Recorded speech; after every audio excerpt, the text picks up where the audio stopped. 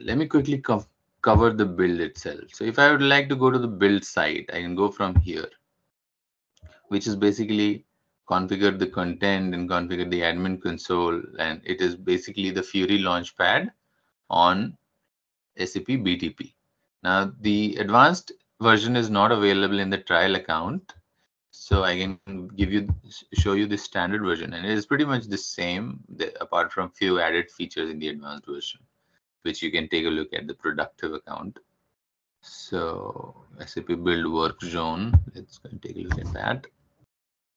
So it gives you this nice tile wherein you could go ahead and create sites. So, there is one benefit or the first uh, first benefit is that now uh, when you're using work zone, you can create multiple launchpads or they call it sites. So right now I have a sandbox launchpad, right?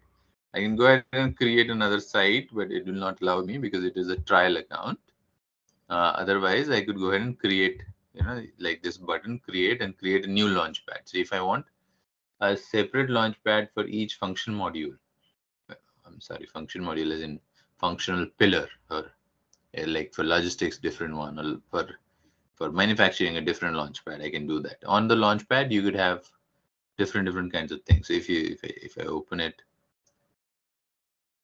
it's like the standard launchpad, right? I don't have any apps configured yet, but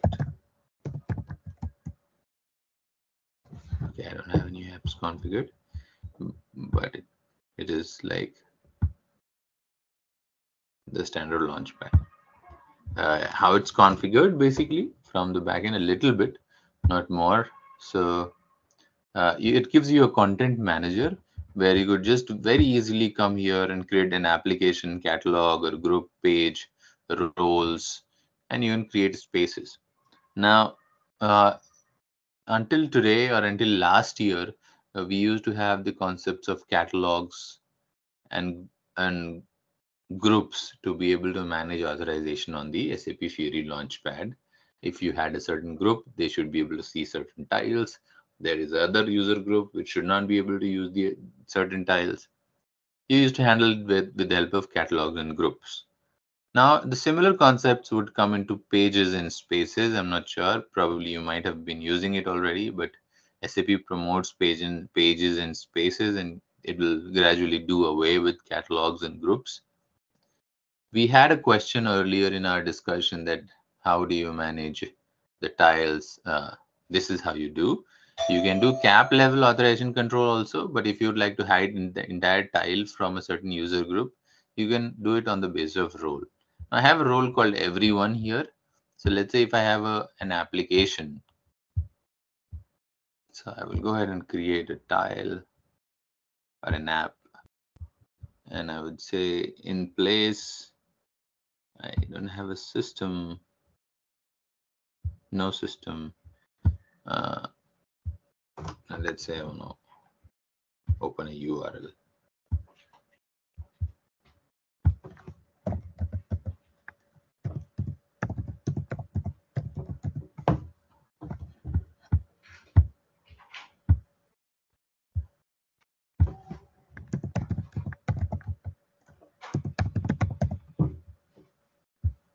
fill certain details that I want to probably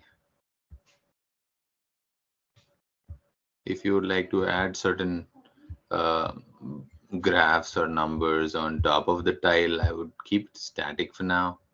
If I would like to add an icon, probably I would say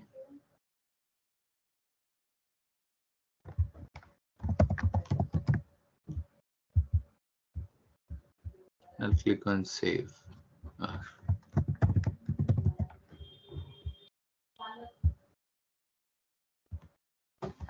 it's saved.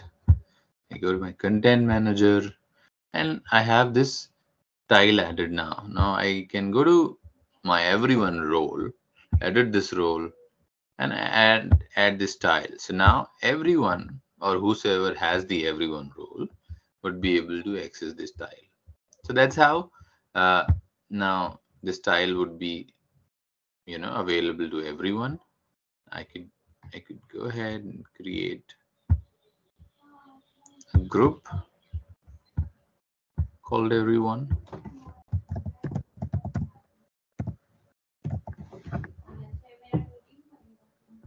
And add. The tile. That's done. Right. So similarly you could go ahead and create your entire infrastructure if you'd like to create a group more groups you can create more groups user wise you could create catalogs you could create roles spaces and everything that was possible or that is possible in Fiori launchpad on premise can be done here as well and in the end, if you would like to import anything that you have deployed on Cloud Foundry, it will be available under HTML5 applications. So you could go ahead and check whatever is available. And then from there you can import. So, or you could also create new content providers or new content packages. If I'm not talking about talking about HTML5 applications, if I'm working on any other, probably ABAP, I can create a new uh, package for all the ABAP applications and all that can be imported imported uh, under my applications with the help of this content explorer. So if i would like to create any one of these an application a group or a page with the help of content explorer i click on this and i'll be able to see all the content explorers here.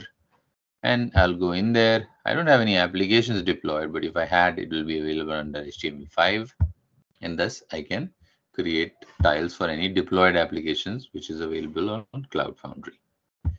So that's a quick walkthrough on Fiori Launchpad on SAP BTP, or you could call it SAP Work Zone Standard Edition. Any questions on this one? It's a pretty simple service.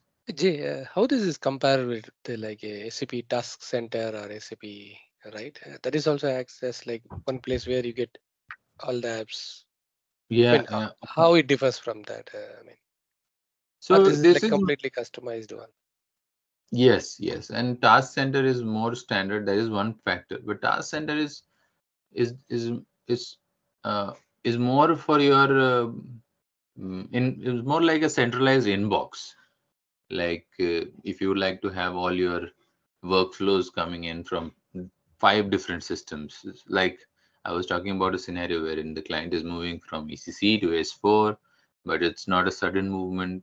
They are moving release by release, and their partial businesses in ECC, partial businesses in S4. So your users will essentially start getting uh, workflows from S4 and ECC both. And if you configure BTP also, they will start getting workflows from BTP also. if, if they have to approve, they'll have to go to three different inboxes. In this scenario, if you would like to configure one centralized inbox, when you get all your tasks, you can do that with the help of Task Center. So that is kind of specifically for that purpose.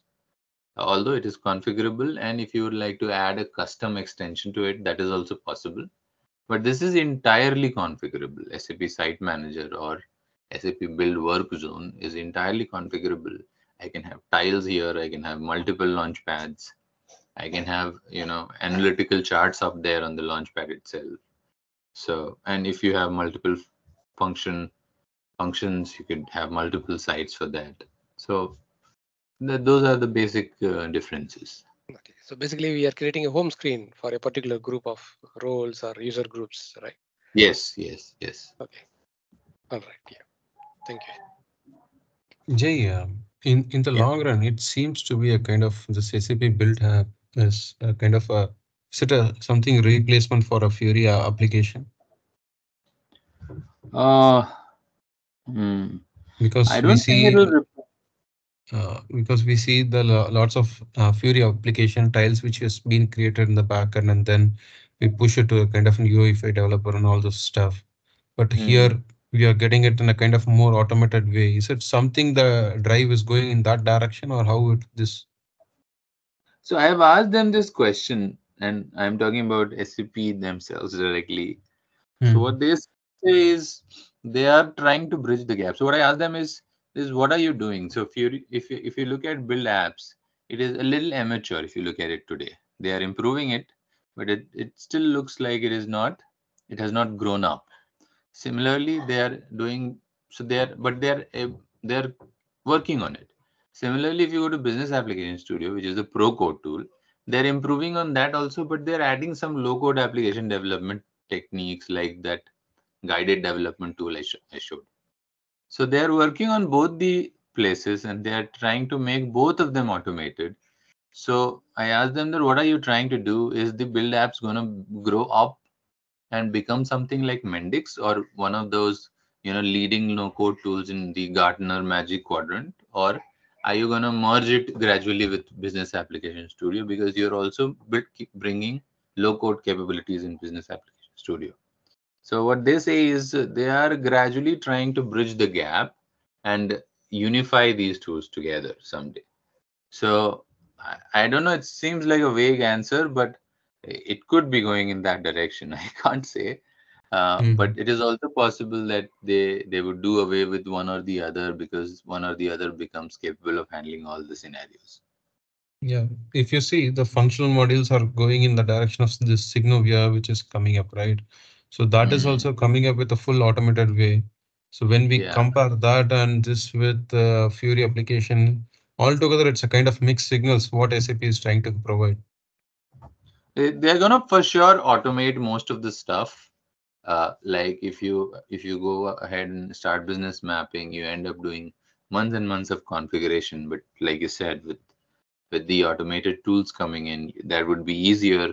Whatever you could do previously in one week you'll now be able to do it in one one day probably. So automation is obviously going to come in for sure. Application development is also going to get faster. Whatever i used to give efforts for two weeks earlier i can do that in two days now. So things have changed and are changing rapidly.